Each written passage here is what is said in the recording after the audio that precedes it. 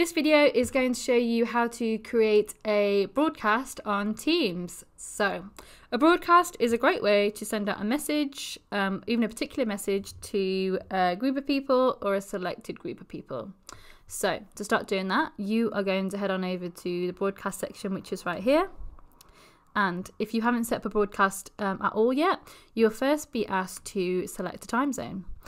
Um, time zones are done by cities, so choose the biggest city to you in the same time zone. Mine is London, which is what's default, and so I'm happy with that.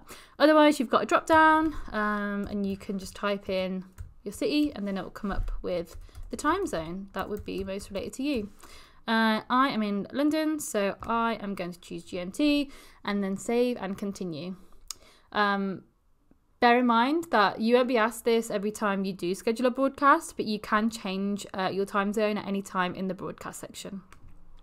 So, save and continue, and then you'll be taken to your schedule a broadcast section where you can start setting up your ping.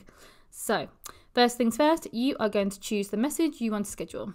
I want to schedule my welcome message. So, I'm going to click on this drop down menu here, and I'll be shown all the messages that are in my bot.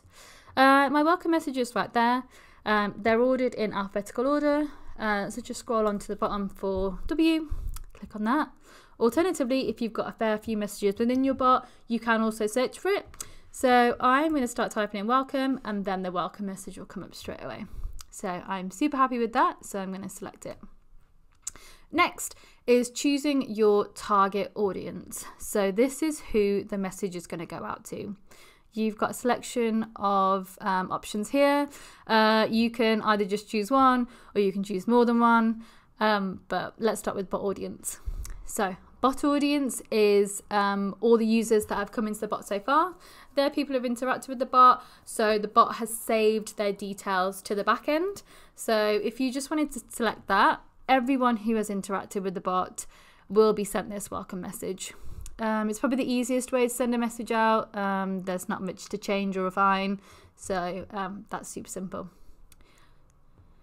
Next up is Teams. So if you've got a certain team that you want to send a message out to on your tenant, you can simply uh, select that, and then you can type in your team.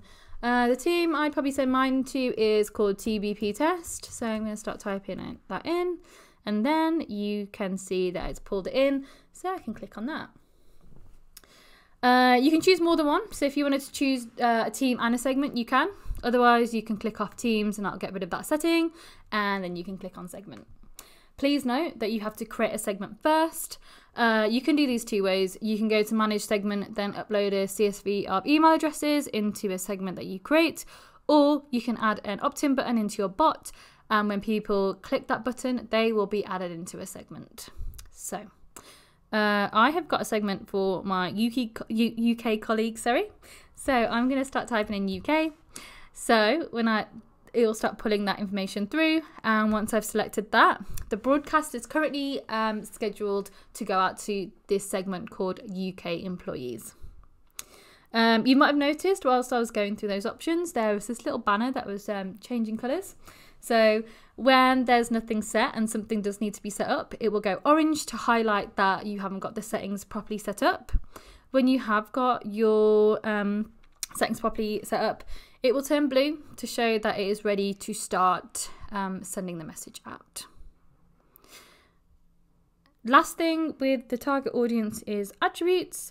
So um, you can filter these targets uh, in a bit more detail. So, for example, in my UK employees, say I just wanted to send the message to myself, I can do that.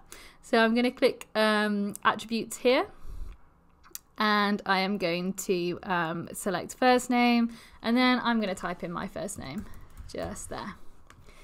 So I know that I'm the only person who is going to get that message now.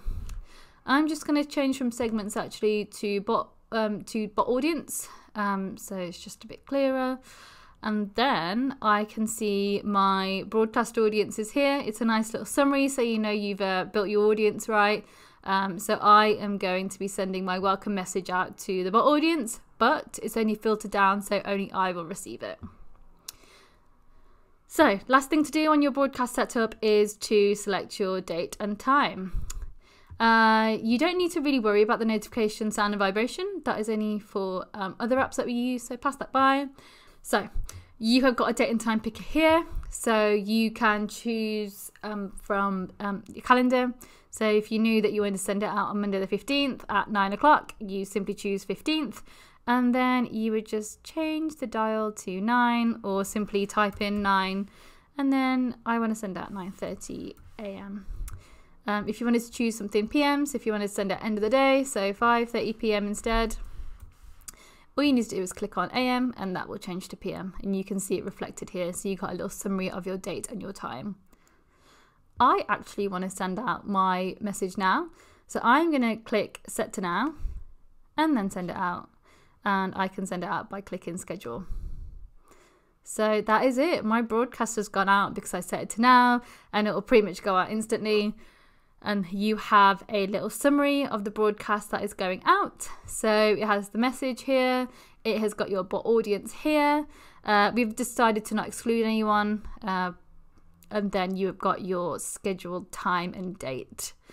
Um, once the message has gone out, simply just refresh the page and you will see these uh, numbers have changed. So this is how the broadcast has gone out. So it's gone out to an audience of one, which is perfect because I just want it to go out to me and it's gone out to me successfully. Um, if you had an audience of say like a thousand, you'll be able to track that here. Um, the complete status is if the message has gone out from our system, and then the success metric is how many people have received that message. So I'm going to head on over to Teams now, and hopefully I will be able to see my welcome message, which is here. So I have just received that little ping, and then I can go in and carry on with my bot flow based on that one ping.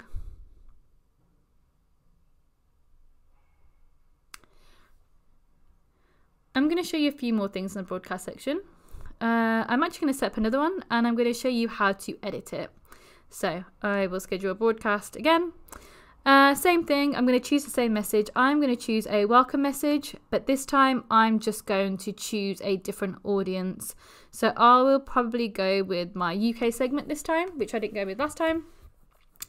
Um, you will see this orange banner. So if you have um, already sent a message, you will get this um, message. But if you if you are fine with sending your message again, then totally ignore it. It's just there to just give you a heads up, really. So sending my welcome message, send it to my segment UK employees, and then I have got my little summary here, which I'm happy with. And then I am going to set my date and time to tomorrow at 10 a.m. So choose 9th of March, type in 10, and then click on here to change it to AM, not PM. I actually want it to go out weekly as well. So we've got a little thing up here called repeat. So I'm just going to click on repeat and I am going to choose from the drop down how um, often it's going to go out. So I want it to go out weekly. So click weekly from the drop down and then I want it to uh, go out every two weeks. Actually, maybe once every other week might suit um, this bot better. So I've got an option to choose up to 10 weeks. Here we go, I'll pick two. And then you can also choose when it repeats on. So I've chosen it to go out on a Tuesday. Uh, so I want to keep that um, the same. So I'm just going to simply click on Tuesday here. So now I have set up my repeat settings to go out every two weeks on a Tuesday and it will go out at 10 a.m. I am happy with that. So I'm going to go over and click on schedule to save those broadcast settings. And now you will see uh, your summary again. So you'll see your message, you will see the audience that we're sending it out to, and you'll see uh, when it's scheduled. So uh, we won't see the um, numbers now until tomorrow morning, but you do have the opportunity to delete just in case you did want to do that. Um, if you aren't happy with that broadcast, simply delete it and then it will be removed and no longer scheduled to go out. There we go. That is how you set up a broadcast. Um, you can go in and make it a bit more um, refined and if you wanted to add more than one uh, segment or exclude segments, that's also possible. Um, you can contact us on Intercom if you wanted a bit more help with that though. But yeah, those are the basics and I hope you have um, a straightforward time setting up your broadcast.